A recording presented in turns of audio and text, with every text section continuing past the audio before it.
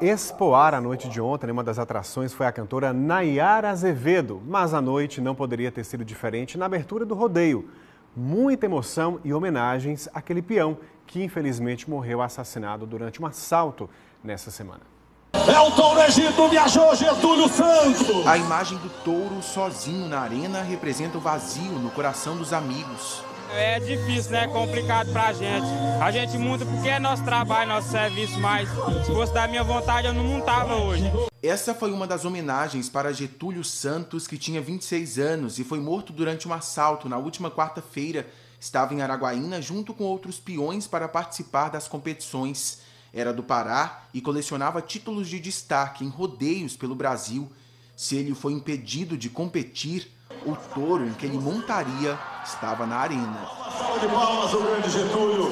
Só pedir a Deus para confortar nós e principalmente sua família, né? Que tem uma esposa, tem seus filhos, sua mãe.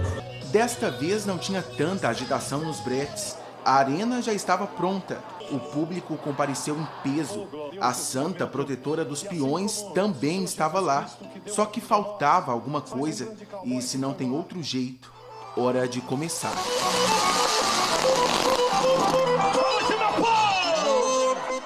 A tralha de Getúlio teve um lugar de destaque. O choro do peão dava sinal de que a noite não seria tão fácil. A imagem do competidor no telão foi uma das formas que eles encontraram de dar o adeus.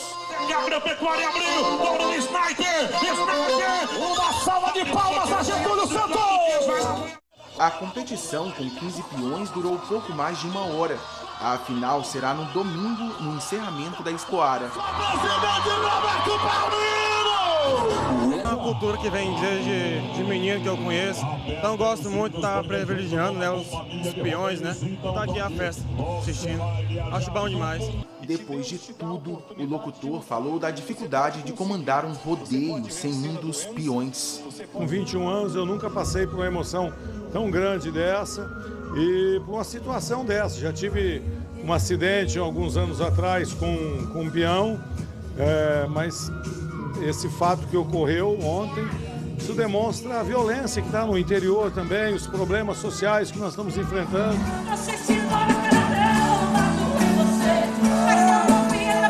É, mas o show precisa continuar e foi com a cantora dos 50 reais. Faz bastante shows no estado do Tocantins e, e que eu espero é a alegria do povo daqui, né? Porque é muito animado, eu estou muito, muito feliz de estar fazendo parte dessa, dessa festa que tem um, um nome no Brasil inteiro. Tava tão animado que até a Melry, de 7 anos, com o braço quebrado, estava lá. Agora, se ela estava se importando com isso?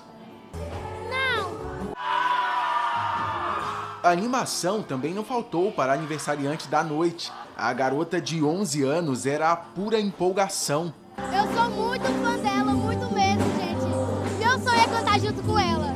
Esta estudante resumiu a noite em uma palavra só. Perfeito!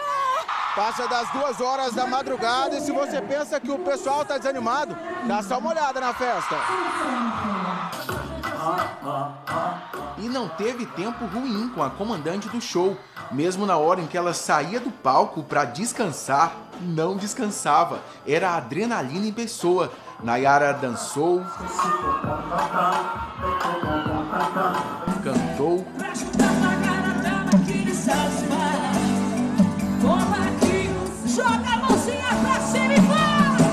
e animou uma multidão.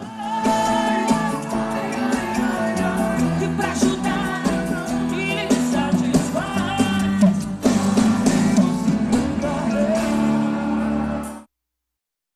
Que noite, hein?